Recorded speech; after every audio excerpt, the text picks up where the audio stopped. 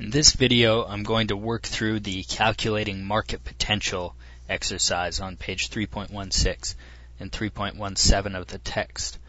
And um, I've already uh, drawn the matrix that appears on page 3.16 of the text just to save you the tedium of me drawing that during the runtime of this video.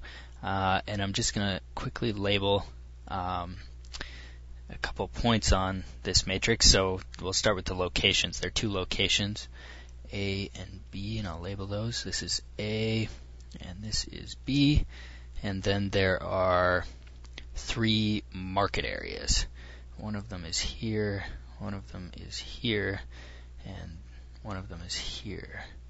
And this is M1, M2, and this is the third market area.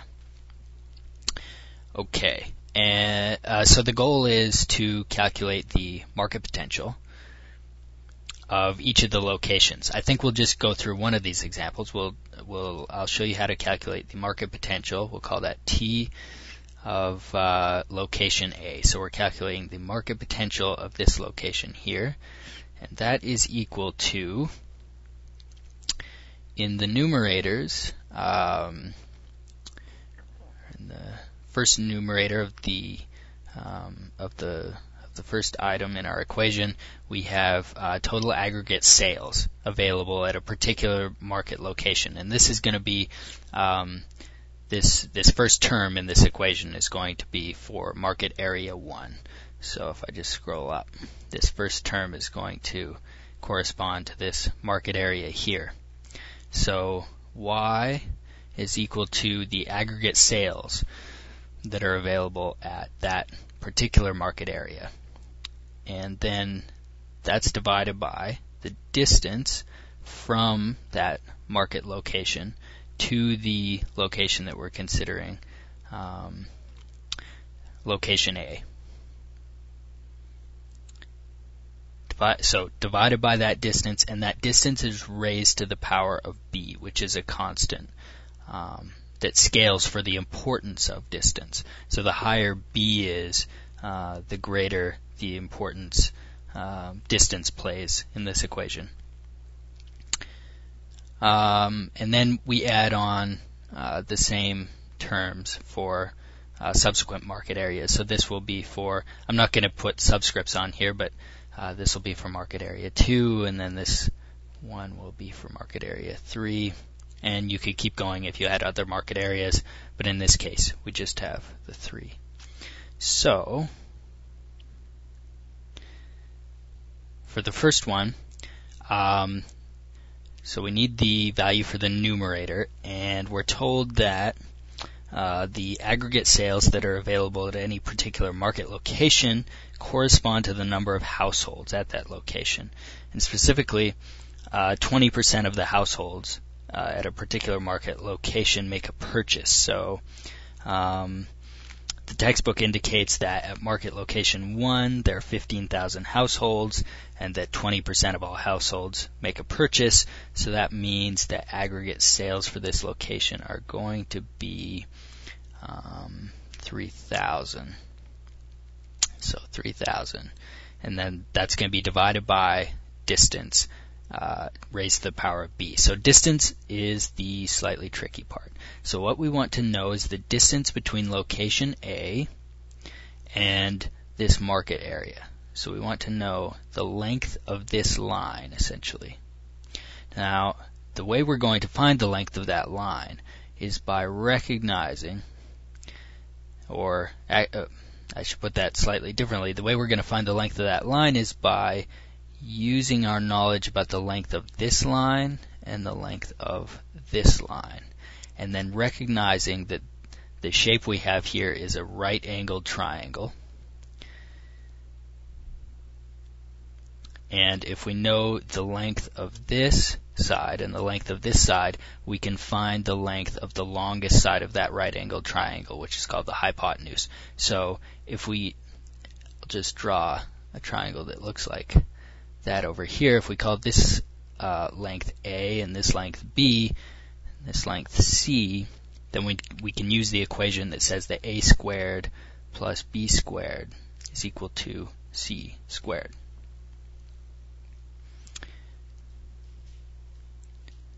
So in this particular case, we see that the length of this is 10, and the length here is also 10.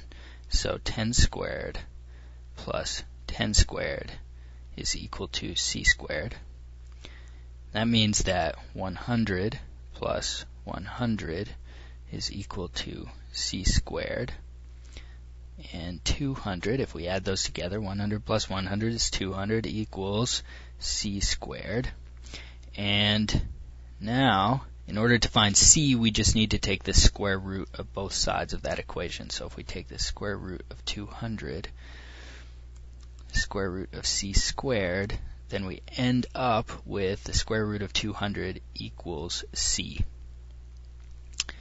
So we now know the distance between this location and this market. It's the square root of 200. So we can input that into our equation down here. So the distance, square root of 200. And that distance is raised to the power of 2. Uh, because b, I don't know if I mentioned that uh, before, but b in our uh, scenario here is equal to 2.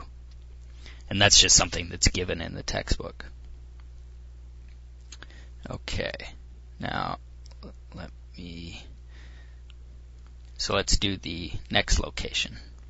So plus, for the next location we have 50,000 households, uh, and again 20% of those households make a purchase, so that means that the numerator is going to be 10,000 over the distance between our location here and the market. So we want to find this distance here. And again, we're going to do that the same way that we did before. So we can see that the length on the bottom here is 20. The length on the side is 20. And so we can use the same equation that we used before, which is a squared plus b squared is equal to c squared, and we'll plug in what the values for a and b should be, which is 20 squared plus 20 squared is equal to c squared. That is going to be 400 plus 400 is equal to c squared. So 800 is equal to c squared, and then we'll take the square root both sides so that we get the square root of 800 is equal to c. So that's the length of this side here, the square root of 800.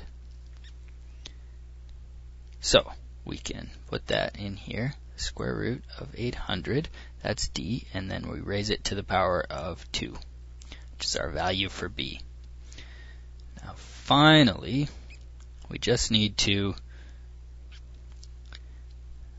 uh, for the final term in our equation, we just need to find the distance between our market location and our location A here. So the length of this, and that's pretty easy. We don't need to use any geometry for that. We can just recognize that the length of this is equal to 10.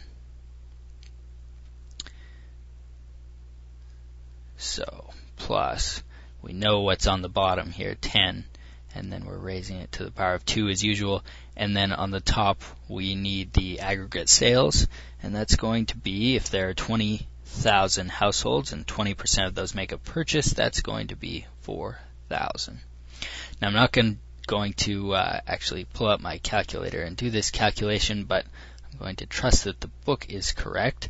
And uh, if if you actually work through this calculation, I believe you'll get 67.5 as being the market potential of location A. So hopefully that uh, helps um, in giving you a, a, an idea of how to go through this these uh, these sorts of calculations, and um, hopefully see that it's not quite so complicated as you might have uh, thought at first.